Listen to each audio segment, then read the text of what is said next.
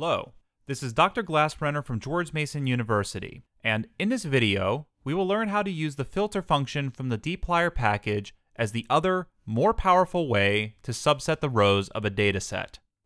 We use filter when we want to subset the rows of a dataset using a rule built using Boolean logic. This schematic illustrates how the filter function acts on a tabular dataset that starts with n rows and p columns. On the left, we have passed a rule into filter that searches for matching rows in a targeted column. Filter has found three rows that match the rule. On the right is what results after applying filter, which is a data frame with m rows and p columns, where m is less than or equal to n.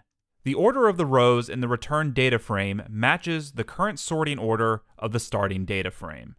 The structure of the filter function is as follows.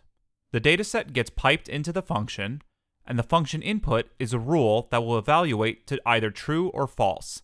The column names are used directly inside the rule. The rule is then evaluated row by row, where filter will automatically sub in the column values as it checks each row. If you want to apply multiple rules that must be simultaneously true, then you can either use the ampersand symbol, which stands for the AND Boolean operator, or separate the rules with commas.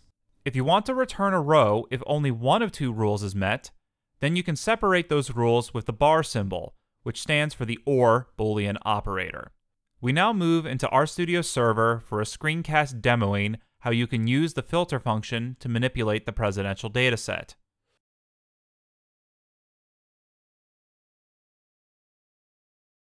Our first task will be to filter the dataset to only contain presidents belonging to the Democratic Party. To do this, we pipe presidential into the filter function, and we type in the comparison party double equals Democratic. When we execute the code block by pressing the green play button or using the keyboard shortcut Control Shift Enter, we get the following table returned to us. As expected, it only contains the presidents of the Democratic Party.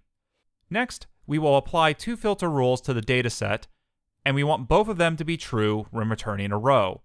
We will filter the dataset for the Republican presidents, and then filter among the Republicans for presidents with the last name of Bush.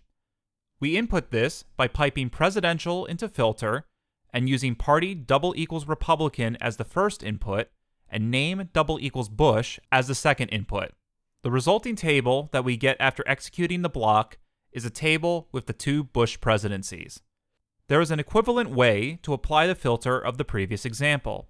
We copy and paste the code and make a small change. We will remove the comma and replace it with the AND Boolean operator. When we execute the modified example, we see that we get the same result back as before.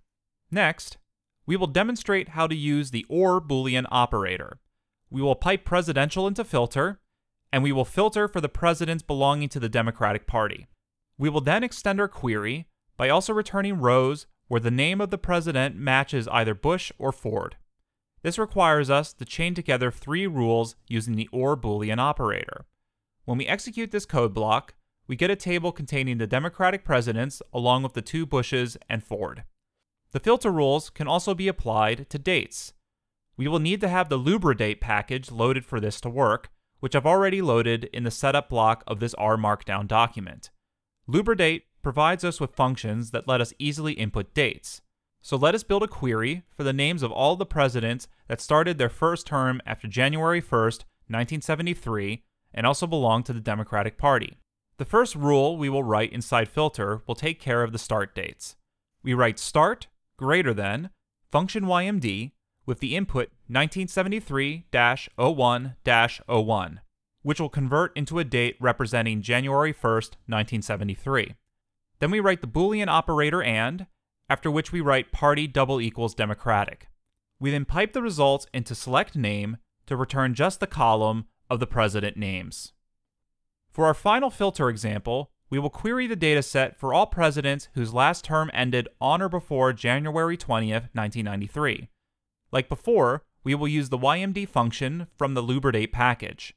We pipe presidential into the filter function, and for the rule, we write end less than or equal to the function YMD with the input 1993-01-20.